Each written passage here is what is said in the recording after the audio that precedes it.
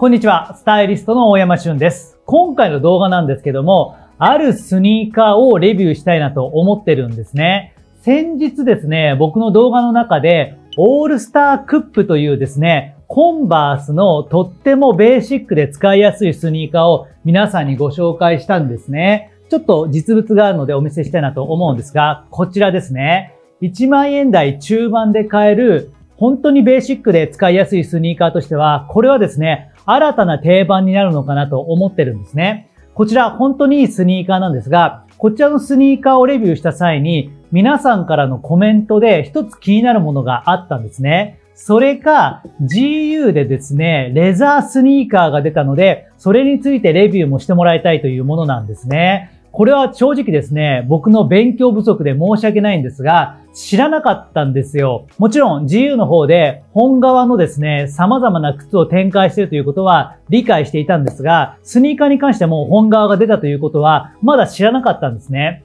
ですので、今回は早速、そちらの GU のですね、リアルレザーのスニーカーを購入しましたので、皆さんにですね、レビューをしてみたいなというふうに思っています。一応ですね、こちらのオールスタークップもこちらに置いておきます。単体で見ての魅力もお伝えしますが、実際に比べた時にどんな違いがあるのか、このあたりを見ていくと、やっぱりわかりやすいかなと思うので、こちらを置きつつですね、早速 GU のリアルレザースニーカーをこちらご紹介してみたいなというふうに思っています。カラーのバリエーションとしては、ホワイトとブラックというところで、非常にベーシックで使いやすい2色が揃っているんですね。で、僕が今回購入したのはブラックの方です。というのも、ホワイト系のスニーカー、オールスタークップがあるので、まあ、ちょっと同じようなもので被ってしまうかなと思ったので、今回はあえてオールブラックのものにしました。実はですね、ブラックのレザースニーカーというと、すでにですね、僕のチャンネルでももう一つ定番がありまして、これも同時にですね、出した方がわかりやすいかなと思うんですね。はい。皆さんもご存知の通り、こちらですね、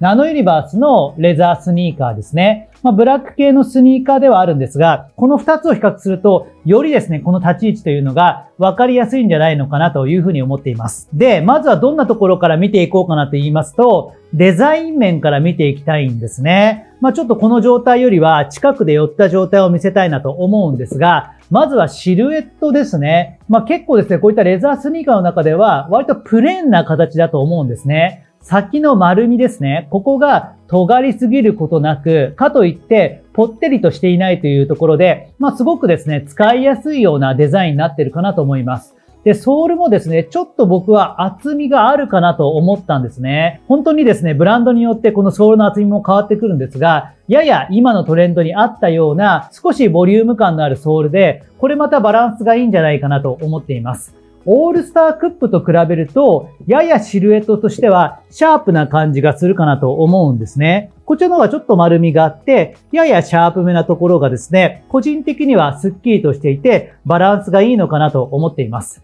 まあ、正直ですね、価格、皆さんにお伝えするの忘れていたんですが、こちら恐ろしい価格になってまして、3990円なんですね。これは恐ろしいですよね。あの、こちらの ALL STAR COUPE は、ちょっと正確な値段は下に出しておきたいなと思うんですが、1万5000円前後だったと思います。こちらのナノユニバースの、えー、オリジナルのスニーカーに関しても、まあ同じく1万円、1万5000円いかないぐらいだったと思うんですね。それに比べると、はるかに安いのが、こちらの G のリアルレザースニーカーなんですけども、まあそれにしてもですね、デザイン面で言ったら、正直3つを比べてもそんなに遜色はないと思います。本当に形は綺麗に仕上がっているので、そういった面ではですね、僕ら大人世代にも使っていただきやすいかなというふうに思うんですね。続いての項目で言うと、レザーの質感ですね。ここを見ていきたいなと思うんですが、まあ、写真皆さんに見ていただきたいなと思うんですけども、こういった商品写真ってやっぱり奇跡の一枚じゃないですけど、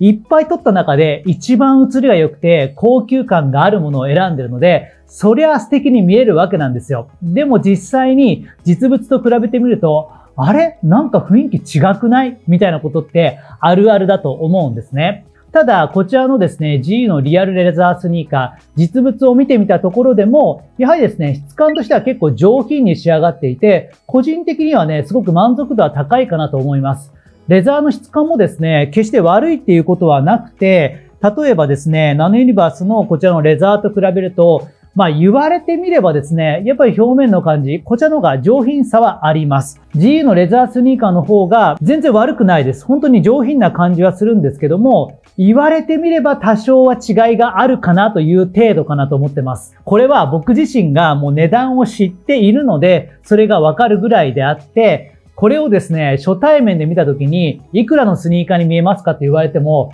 わかんないんじゃないですかね。正直ですね、リアルレザーとフェイクレザーの差であっても、それもですね、見た目の違いって今は本当に精巧にできているので、僕はそんなに違いが分かりづらいと思うんですね。まあ、最近だと、スタン・スミスがリアルレザーからフェイクレザーになりましたよね。このオールスタークップの時にも解説しましたが、そのフェイクレザーもよくできてるので、フェイクレザーとレザーでもそんなに差がわからないのに、ましてやこのレザーという中で言ってしまえば、その差というのはより分かりづらいかなと思うので、質感としても僕は満足度が高いかなと思っています。ただなんか一つ特徴として、なんか匂いがあったんですよね。昨日到着した時点では割と強い匂いがあったんですが、今はあんまりないですね。1日経ったら全然匂いしなくなったので、その点も個人的にはあまり気にならないかなと思います。ですので、レザーの質感としては全然問題がないかなと思うんですが、個人的にちょっと気になったのが、まあ、シューレース、紐ですね。この部分が、まあ、こういったナノユニバースのオリジナルと比べると、ちょっとこう紐がチープさがあるかなと思いました。ですので、この紐は場合によってはちょっと変えてしまった方がバランスがいいかなと思います。ナノユニバースのこちらの紐に関しては、やはりですね、レザーの雰囲気に合うような上品さがあるので、そういったとこには違いが出るかなとは思いますが、基本的にはレザーの質感だとか、そういったものに関しては、こちらでも十分に納得ができるクオリティかなと思っています。あとは縫製ですね。丁寧に作られているのかというところで見ていきたいなと思うんですが、正直ここに関してもですね、決して雑ということはなくて、まあそれなりにですね、バランスよく縫製もできているかなと思います。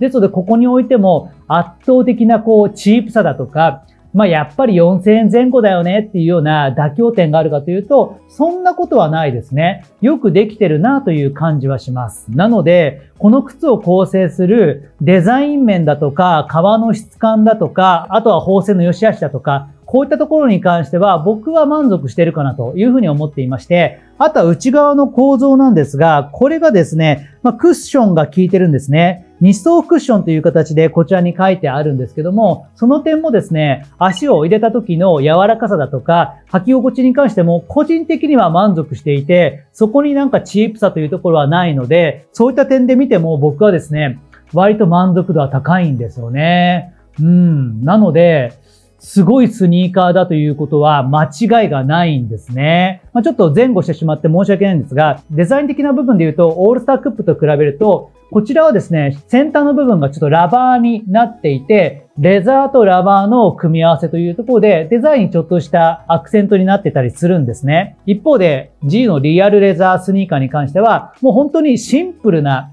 レザースニーカーで、まあ、この部分にラバーもなかったりするので、もうほんとドシンプルですね。で、ソールの部分まで真っ黒じゃないですか。ここも大きな違いで、ナノユニバースのこちらのスニーカーに関しては、ソールがホワイトなので、そういった点でデザイン的にはちょっとしたアクセントがあるんですね。ここが結構好き嫌いが分かれるところかなと思っていまして、個人的にはソールは白の方が好きなんですね。というのも僕はブラック系のパンツ履くことが多かったりするので、足元まで全部ブラックだとちょっとこうシンプルになりすぎてしまって、少しつまんないかな、退屈な感じがするなというところがあるので、ソールはホワイトでちょっとアクセントがあった方が好きなんですね。一方で、こちらのブラックレザースニーカー、全部ブラックというところにもメリットはあるんですよ。例えば、ブラックの細身のデニムと、こちらのブラックレザースニーカー、全部真っ黒のものを合わせてしまえば、足がですね、長く見えるという最大のメリットがあるんですね。よくですね、足が短い方とか、体型にコンプレックスがある方は、こういった真っ黒のレザースニーカーがいいですよというような解説ってあるかなと思うんですが、そういった方法で使うにはもう間違いのない選択だと思うんですね。ですのでこういった真っ黒のレザースニーカーにも一定のニーズがあるかなと思うんですね。あとはどういったシーンで使えるかというところで言うと、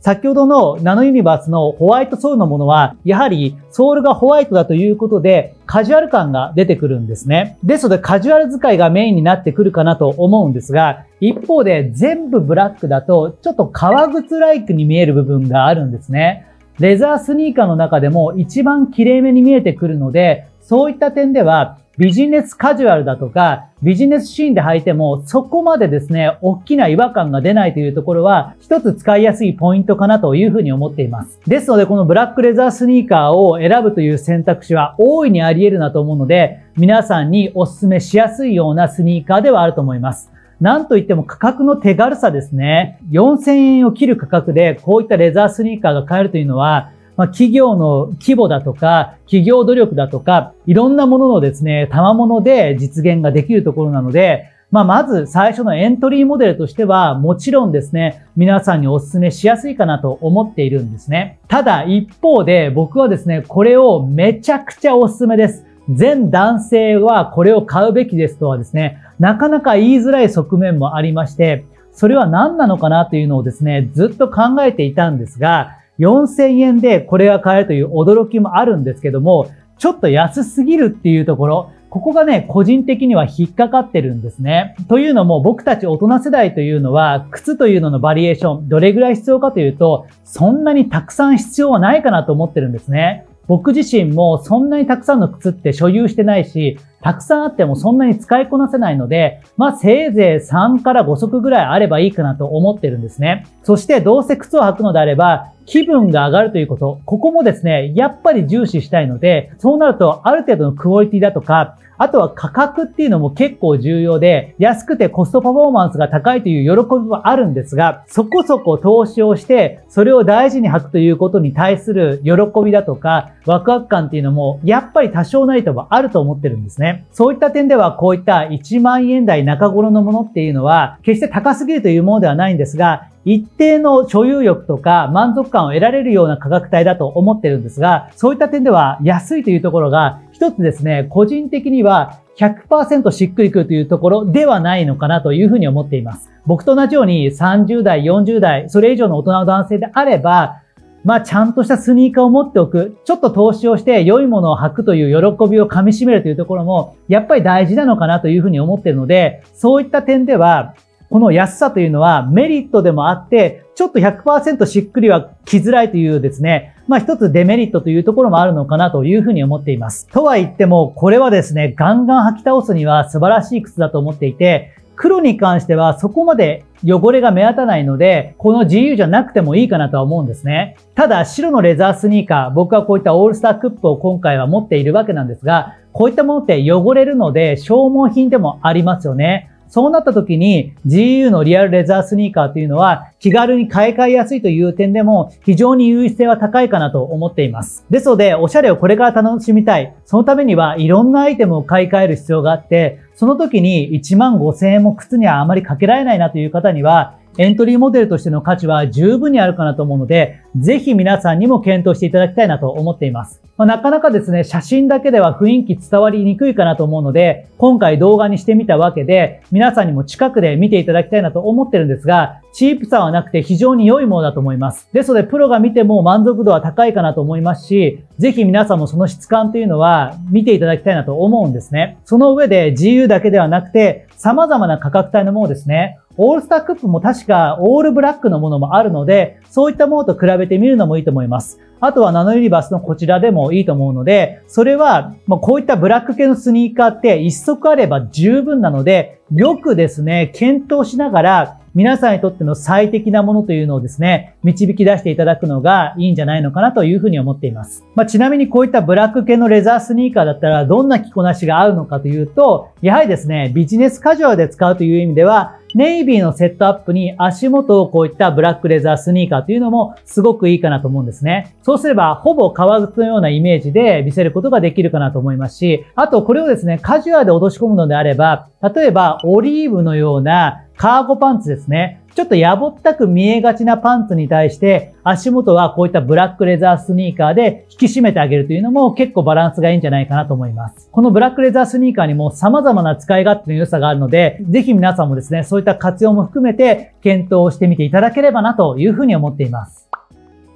はい、ということで今回の動画では GU のですね、リアルレザースニーカーのブラックについて皆さんにしっかりとレビューをさせていただきました。結論を言うと素晴らしい一足です。ですが、その中で一つのネックになるのは値段の安さだと思っていまして、値段が安いことはとても素晴らしいことなんですが、安すぎるとちょっと心配になるというところがあって、まあ、買った時のワクワク感だとか、使う時の高揚感っていうのがちょっと得られづらいかなというところと、まあ、安すぎるということをいろいろ考えると、うーん、ちょっとなんかそれも心配だなというところが頭をよぎるところがあって、そこだけが引っかかるかなというところなんですね。ただこういったシンプルなものが GU で揃うというところでは、大人の男性にとっては朗報だと思うんですね。ちなみに去年ですね、同じく GU で買ったこちらのグルカサンダル。これまた本革で作られたもので、値段はかなりリーズナブルだったんですね。これもね、非常に良かったんですよね。特にグルカサンダルって、ちょっと頑張って買うと高いんですよ。